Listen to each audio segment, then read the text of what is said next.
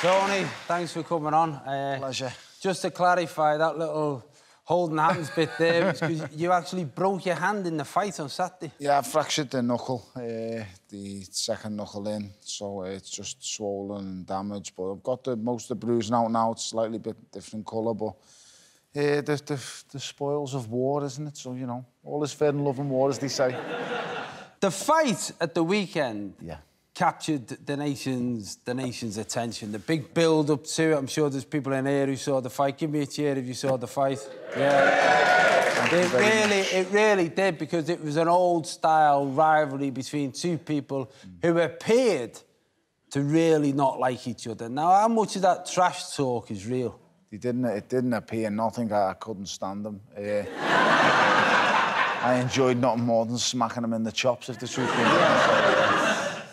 I, admire him as an athlete and the great fighter he is and was, uh, but I, don't like him. I don't like him as, as the, I don't like him from a personal perspective. No, I don't think he's a nice fella there. And I think some of the things he said in the build-up was was disgusting.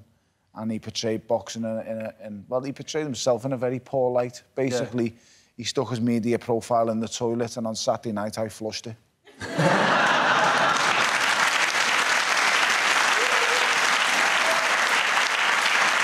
This has raised your profile massively in the last, I suppose, 18 months, two years. It's been a hell of a hell of a journey for you. Yeah, it, I could never. If you gave my story and my life to someone in a movie theatre and said, right, make a movie on that, they'd say, take it away, you're taking the piss. that just did not happen to this lad. I'm just a normal lad from the streets of Liverpool.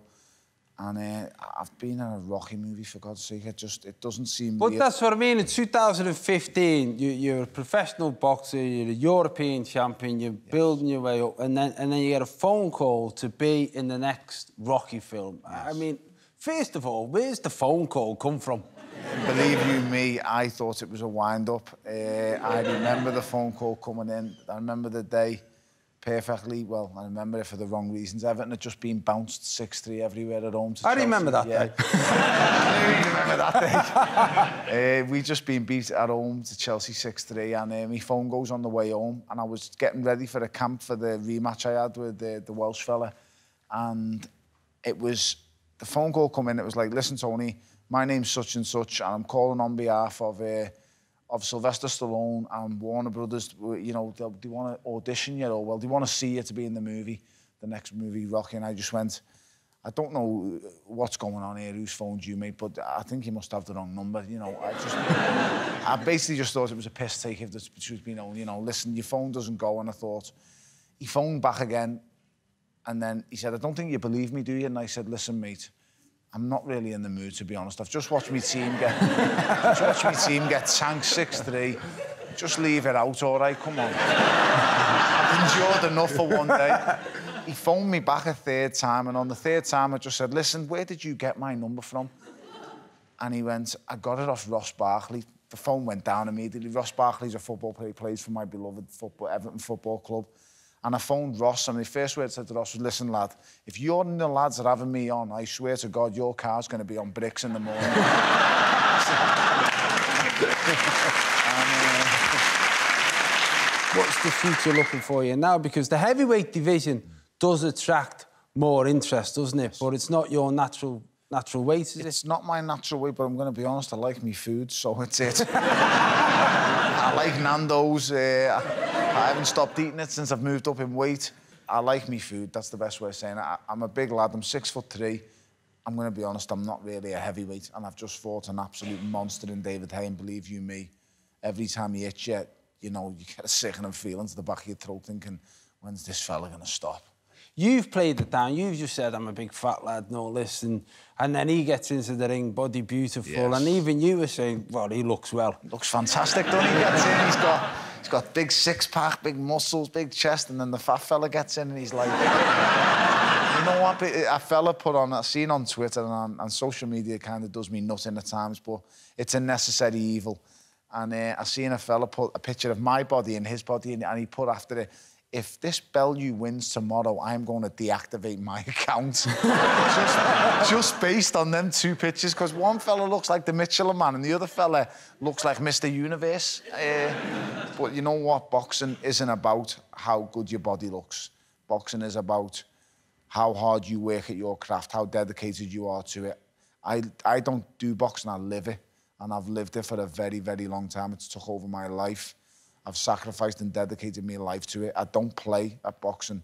I give it everything I've got and I've lived it every single day since the day I turned professional right up till now. And it showed on Saturday night. One guy trains to have a beautiful body. The other guy trains to fight to the finish. And that showed on Saturday night.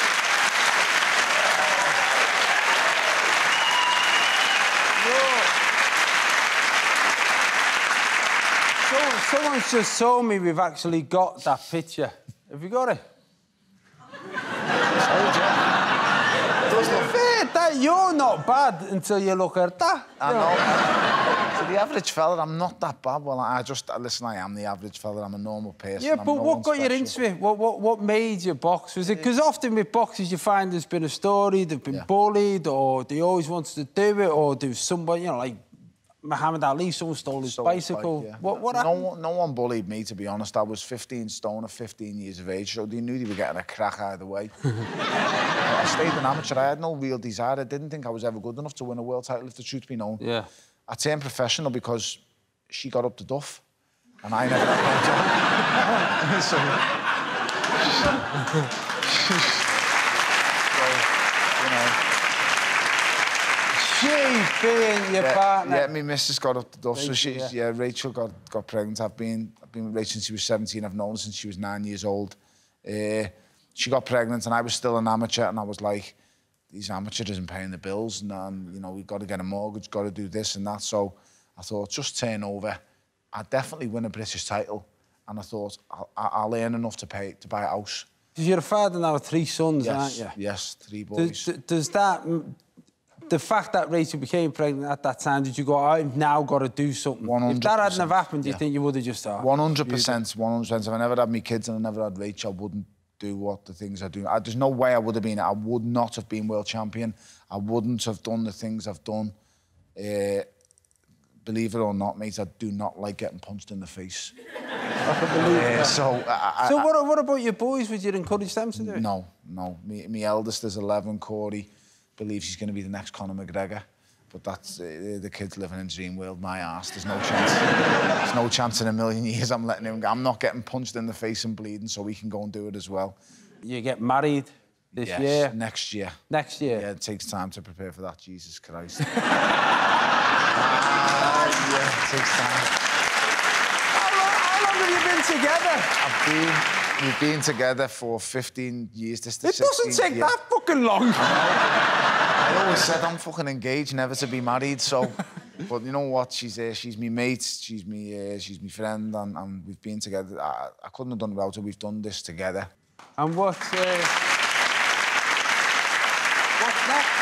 What, what's the next thing for you? you, you I, I know that this is a week of recovery, a week of doing press, and everyone's going to be asking have you got an opponent lined up, or you, you, you suggest on Saturday you might knock it on the head? What's... We sat down, me and my missus, she come home from Dubai, and my trainer wants me to retire.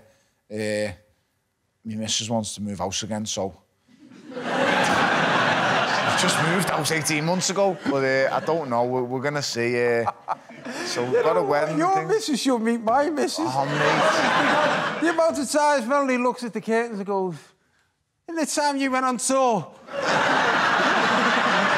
I just, I'd, I'll be honest, I'd be telling lies to you all if I said I know what's next. I don't know what's next. Uh, I'm going to just think about it. What I will say is, is the next move that I make, it won't be for, I won't be thinking to get this fight, to get this bill, or to please this guy or that guy.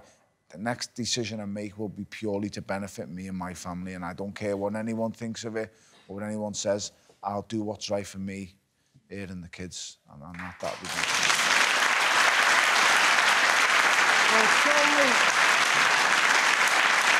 I think you can tell by the reaction in the room, you know, the, I, I'm so pleased you came on here to talk, because I know you've not done any interviews since it, and I know, I know a lot of people only know you as the aggressive man in the press conference Yeah. and, and the fight, but I think we've seen another side here, the genuine Thank side, you. and the side that will be there throughout your life. And if the sport's gone, you're still going to be the man that you are today, which is in itself a great achievement. Ladies and gentlemen,